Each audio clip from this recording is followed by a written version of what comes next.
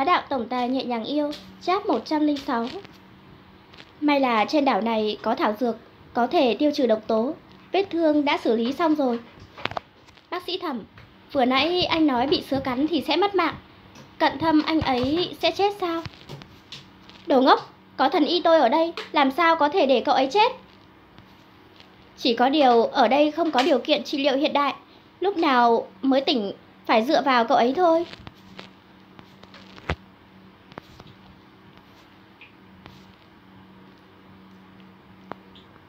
Tôi hiểu rồi.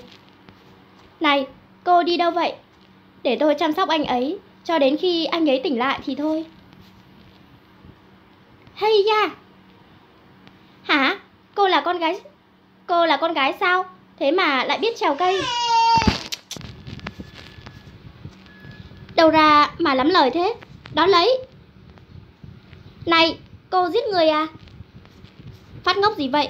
Còn không nhanh giúp tôi nhặt lên. Người đang dưỡng thương cần phải có dinh dưỡng. Lần này đến lượt em phải bảo vệ anh. Phó cận thâm.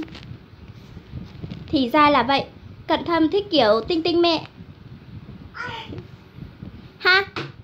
Cũng tốt hơn loại gà hen trói gà không chặt như anh. Người ta là dựa vào trí thông minh, trí thông minh, đồ khỉ hoang. Dám đặt biệt danh cho thần y. Vậy mời anh dựa vào trí thông minh của mình nấu ra cơm đi nhé. Nấu cơm ai mà không biết, dựa theo yêu cầu của học thuật, cần 100 độ gia nhiệt từ 10 phút trở lên. Si, mời anh tạo ra lửa trước. Thái độ đó của cô là sao? Không có gì có thể làm khó tôi. Tôi là thần y đấy.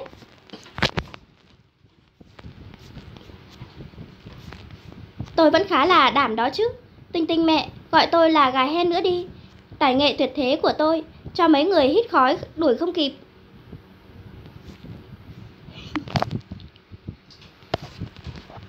Trời đất, khó ăn chết đi được. Trình tự chế tác chắc không có vấn đề. Hử, mùi gì vậy?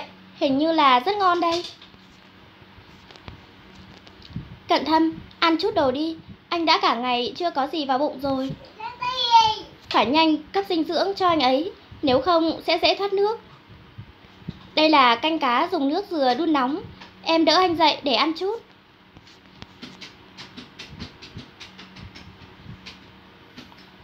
Không được, đút không vào. Làm sao đây?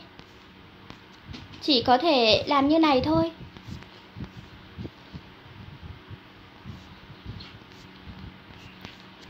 Tốt quá, anh ấy nuốt xuống rồi. Phó cận thâm, đôi môi khô khốc của anh ấy không giống với cảm giác mềm mại trước đây.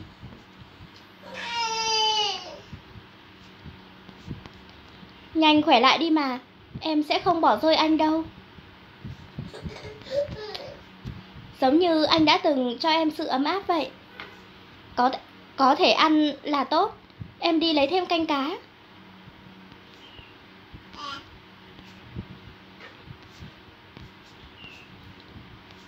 Ê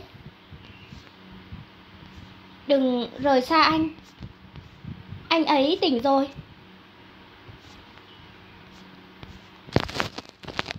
Cháp 107 Đừng đi mà. Thì ra là anh ấy đang mơ. Đừng đi. Đây là lần đầu tiên mình nhìn thấy bộ dạng yếu đuối của anh ấy. Anh ấy giống như một đứa trẻ, Thiếu cảm giác an toàn vậy. Cô muốn tôi hiểu cho phó cận thâm ư? Vậy cô có biết quá khứ của cậu ta ra sao không hả? Tình cảm của cô dành cho cậu ta, Đến cuối cùng chỉ là độc dược. Phó cận thâm Rốt cuộc anh đã trải qua những chuyện gì? Anh yên tâm Em sẽ không đi đâu cả Mau tỉnh lại Và kể cho em về bí mật của anh Wow, ngon quá Con mụ tinh tinh đó quả nhiên là giỏi thật đấy Đại thần y, anh đang làm gì vậy? À thì tôi chỉ đang muốn kiểm tra đồ ăn mà cô chuẩn bị cho Phó Cận Thâm xem có đủ tiêu chuẩn để vào bụng cậu ấy không ấy mà. Chà, vậy xin hỏi đã đạt tiêu chuẩn chưa ạ? Cũng đủ tiêu chuẩn. Này, cô làm gì thế? Cận Thâm giờ không ăn nổi mấy món này đâu, nên tôi muốn nấu một nồi canh cá cho anh ấy. Cô cũng chu đáo ghê đấy. Tại sao tôi cứ cảm thấy anh giống mấy bà già độc ác thế nhở? Nhưng thật ra các bà già rất đáng yêu cơ mà. Này, cô nói ai là bà già thế hả? Bổn thần y dù già cũng là ông già nhé. Ồ, vậy thì chào cụ ạ. Cô... Đó là con gì thế? To quá. Đó là kỳ đà nhiệt đới. Nó coi phó cận thâm là đồ ăn mất tiêu rồi. Cận thâm đang gặp nguy hiểm. Nhược điểm của con kỳ đà là gì hả? Độ linh hoạt của nó có giới hạn. Nếu cưỡi lên lưng nó thì có thể né đòn tấn công của nó. Tôi hiểu rồi.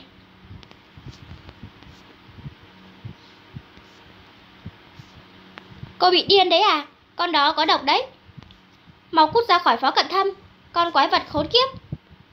Wow, ngầu quá. Trời ạ, tiểu thâm thâm sao lại đi thích mẹ điên thế này vậy? Lực chiến đấu đáng sợ ghê. Vẫn may cho mình là chưa chọc điên cô ta, nếu không là bị đánh chết rồi.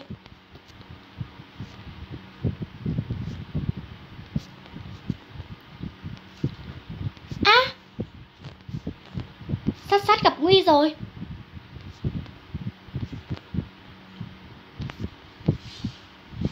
Anh, đừng chết mà. Tình cảnh này lại xuất hiện. Lẽ nào lại lặp lại lịch sử sao? Không thể để cận thâm trải qua bi kịch này nữa.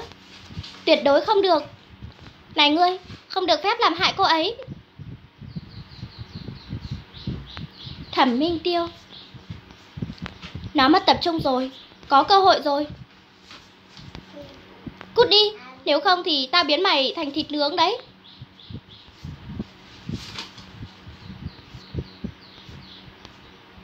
Thế Nó đi rồi sao? Chọc hỏng mắt nó rồi, Chắc nó sẽ không dám quay lại nữa. Cô xém tí nữa là làm thức ăn cho nó đấy. Cô có còn là con gái không vậy? Không ngờ lại bất chấp thân mình đi đấu với con kỳ đà kia. Lúc đó tôi chẳng nghĩ được gì nhiều, Đầu trống rỗng Nên làm theo bản năng thôi. Mà này, Cảm ơn anh lúc nãy đã cứu tôi. Nhìn không ra thần y cũng lợi hại thế đấy.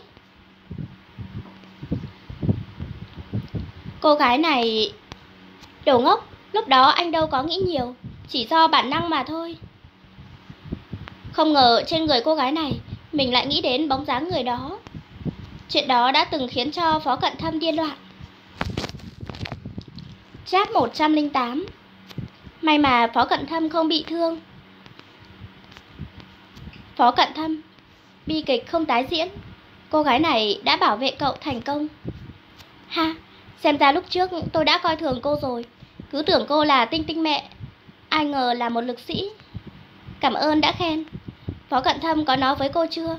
Tôi, Thẩm Thanh Cách và Cận Thâm Ba người chơi với nhau từ nhỏ Thân đến mức mặc chung quần. Ừm, Cận Thâm còn nói hồi nhỏ anh sợ ngủ một mình Thường tè dầm. Cái này không cần tìm hiểu đâu. Tôi muốn nói với cô là Một người trong tam giác bạn thân ấy Ban đầu không phải em trai tôi. Thẩm Thanh Cách, mà là anh trai tôi, Thẩm Lâm. Thì ra Thẩm Thanh Cách là em trai ruột của Thẩm Minh Tiêu. Vậy anh trai anh đâu?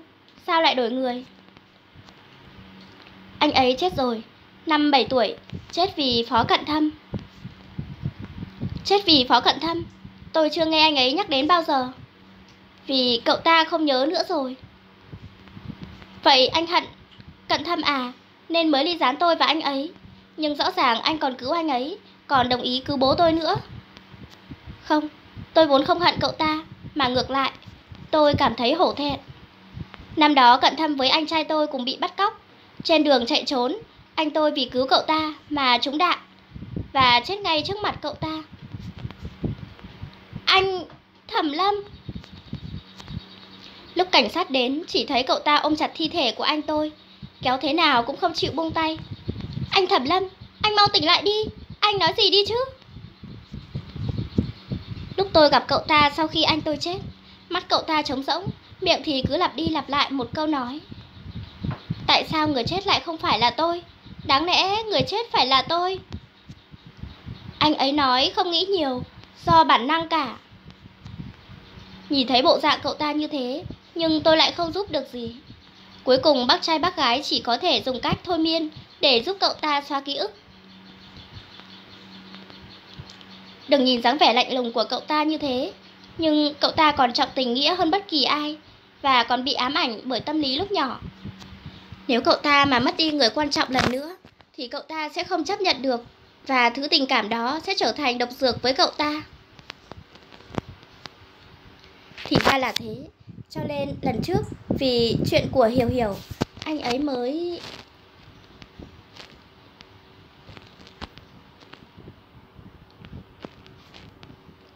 Mình làm ra chuyện tàn nhẫn với anh ấy thế, Mà mình lại không biết. Nhìn biểu cảm của cô, chắc cô hiểu ra được gì rồi nhỉ? Tuy ký ức đã bị xóa, Nhưng cái gai trong lòng cậu ta không ngừng thôi thúc cậu ta Phải mạnh lên và không được nghỉ ngơi.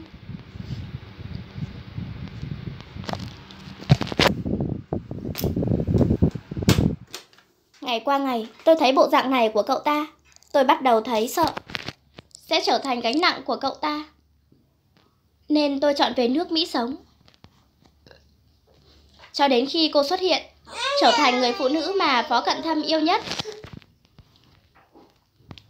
Trong mắt tôi, cô chính là trái bom hẹn giờ của cậu ta. Vừa nãy xem như cô có thể thoát được một kiếp nạn, nhưng sau này thì sao? Sẽ may mắn như thế. Nếu cô thật sự yêu cậu ta, thì hãy rời xa cậu ta, giống như lựa chọn ban đầu của tôi vậy. Trước khi cô trở thành gánh nặng của cậu ta.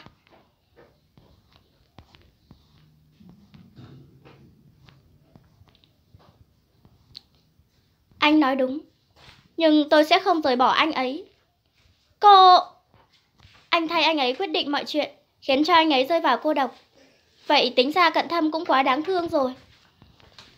Vì sợ mất đi mà không thử sở hữu, đó không phải là lựa chọn của cận thâm.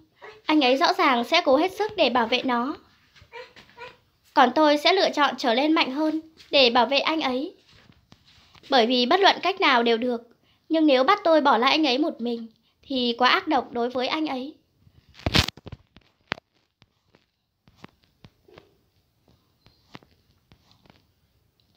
Thì ra là thế.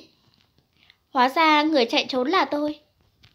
Không hẳn, tuy anh lựa chọn rời đi, nhưng anh đang dùng cách của mình để bảo vệ anh ấy. Nên anh với tôi đều giống như nhau cả. Cảm ơn anh, Thẩm Minh Tiêu. Không chỉ vì bố tôi, mà còn vì Phó Cận Thâm. Cuộc đời của tôi vốn không hoàn mỹ, nhưng tôi có phó cận thâm rồi. Cuộc đời của anh ấy cũng không hoàn mỹ, nhưng bây giờ anh ấy có tôi. Không ngờ Tinh Tinh mẹ cũng hiểu lòng người phết. Hả? Lúc trước anh xem thường tôi nhiều lắm hả? Xem thường cô? Đâu có, Tinh Tinh đầu đàn, ai mà dám chọc chứ? Thẩm Minh Tiêu, anh đừng có mà quá đáng. Có lẽ trên đường của mỗi cuộc đời đều gặp khó khăn. Ừ, sát sát. Nhưng chỉ cần chúng ta tin tưởng nhau, cùng nắm tay tiến về phía trước. Phó cận thâm, anh tỉnh rồi. Thì con đường phía trước sẽ không còn cô độc nữa. Chat 109 Bây giờ cậu ấy đang hôn mê sâu, cơ thể rất nóng. Điều này cho thấy các chức năng cơ thể đang chiến đấu chống lại chất độc. Khoảng thời gian này sẽ rất khó chịu nhưng cũng là triệu chứng cậu ấy sắp tỉnh lại. Làm sao có thể giảm bớt khó chịu cho anh ấy đây? Tôi sẽ đi tìm gì đó để làm rèm. Tối nay tôi sẽ ở ngoài canh chừng, cô chăm sóc cho cậu ta đi. Hả? Có lẽ kiếp này người có thể cứu được cậu ta chỉ có cô. Cậu ta giao cho cô đấy.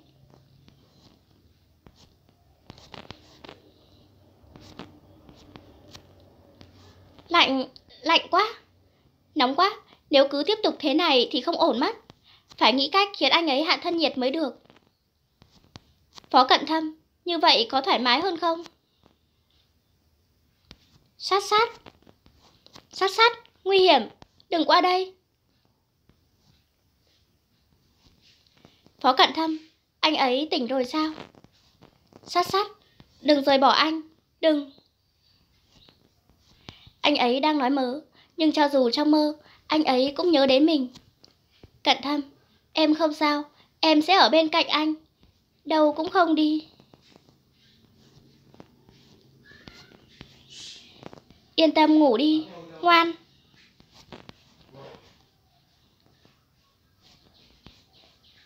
Ngủ rồi sao? Giống như dỗ con nít ngủ vậy. Cận thâm rất trọng tình nghĩa, còn bị ám ảnh hồi nhỏ. Nếu cậu ta mà mất đi người quan trọng lần nữa, thì cậu ta sẽ không chấp nhận được. Và thứ tình cảm đó sẽ trở thành độc dược với cậu ta. Cô là người phụ nữ mà cậu ta yêu nhất. Cô chính là trái bom hẹn giờ của cậu ta. Phó cận thâm, lần này để em bảo vệ anh. Em sẽ không rời bỏ anh.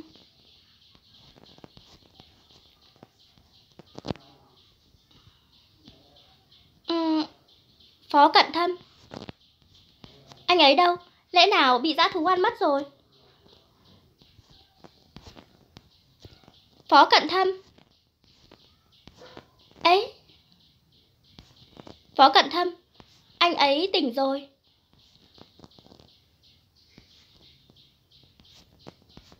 Hình ảnh trước mắt dường như không thực.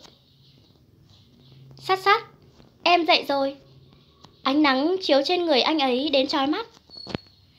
Đói chưa? Anh vừa nướng xong mấy con cá. Giọng anh ấy vang vọng bên tai tôi.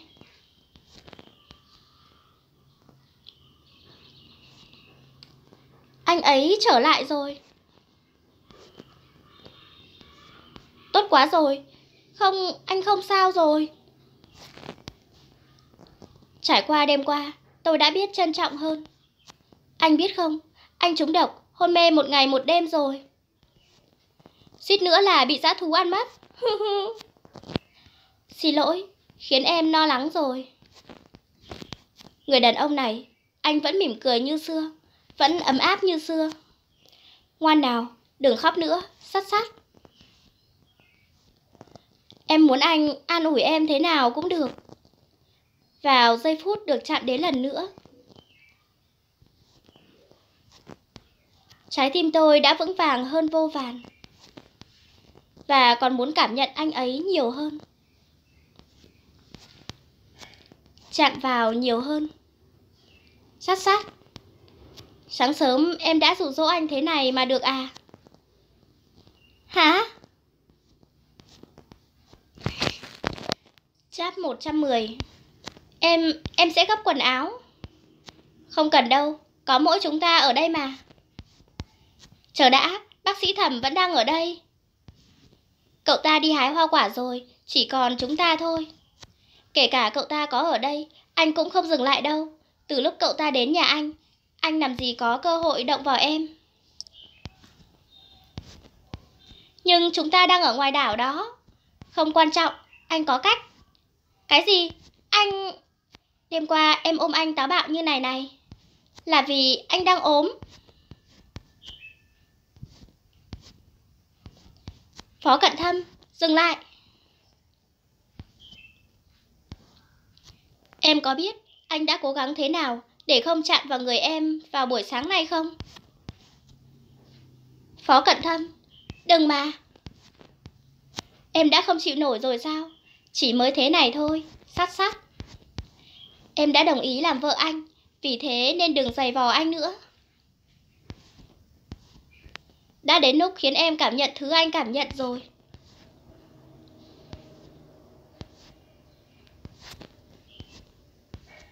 Đủ rồi, Phó Cận Thâm. Anh vẫn cần phải dưỡng thương, anh không được mệt quá đâu. Anh hiểu rất rõ bản thân. Em nên lo thân em đi. Nhưng bác sĩ thẩm ra ngoài đã lâu rồi, chúng ta lên đi tìm anh ấy thôi. Lúc này mà em vẫn nghĩ về người khác ư.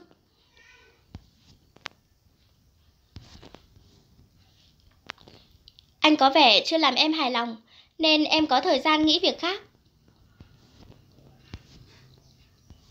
Không phải, anh ấy rất lo cho anh mà.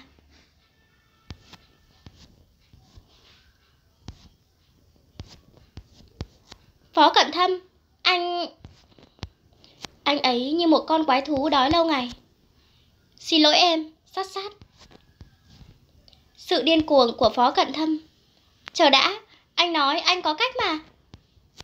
Mình không thắng nổi nó, mình dãy ruộng như người đuối nước. Nhưng anh ấy lại đẩy mình lên đỉnh sóng. Cuối cùng, chúng ta đều trầm luân xuống vực thẳm.